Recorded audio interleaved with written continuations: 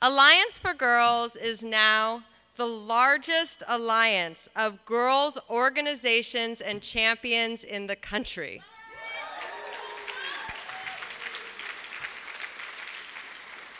With 85 members serving more than 216,000 girls across the Bay Area.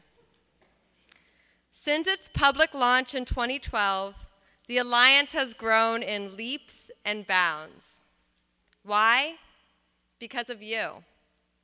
Your passion, your collaborative spirit, your readiness for innovation, and your commitment to your girls.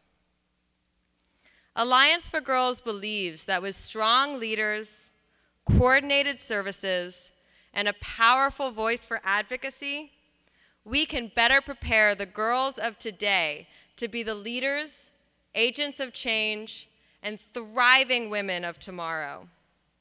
And we are getting ever closer to fulfilling this dream. Our members consistently report that leadership has been enhanced within their agency because of Alliance for Girls, and that they are better able to meet their organization's missions.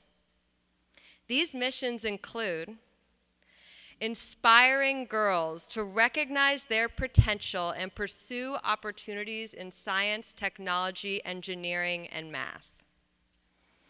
Leading teenage girls in the California juvenile justice system toward accountability to self, others, and community by providing practical tools to affect behavioral change.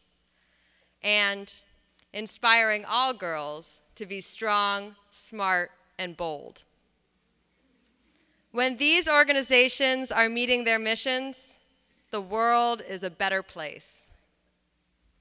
With strong leaders and strong organizations, we are building a powerful movement for change in our communities. In 2013, we successfully advocated for substantial restoration of funding to girls' organizations cut by the San Francisco Department of Children, Youth, and Their Families. In 2014, we successfully advocated for gender responsive and culturally responsive services to be included as a goal of the San Francisco Children's Amendment, which allocates $50 million a year to youth services.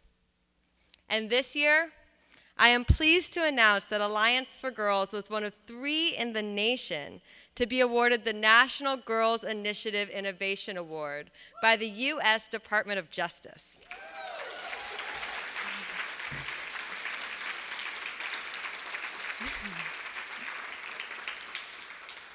This award will fund an initiative led by Alliance for Girls and its membership to partner with government agencies in San Francisco and Alameda counties to craft and implement new policies that will ensure that government systems like schools and juvenile probation are appropriately and effectively meeting girls' unique needs. Today, we are building on this momentum. We are strengthening ourselves as leaders and organizations. We are tapping into the collective wisdom and intelligence of the more than 200 people that will be attending this conference. And we are building a Bay Area Girls Agenda. Thank you for joining us in this journey. It is still a long road ahead, but together, we are stronger and thus better able to create a more equitable future for all.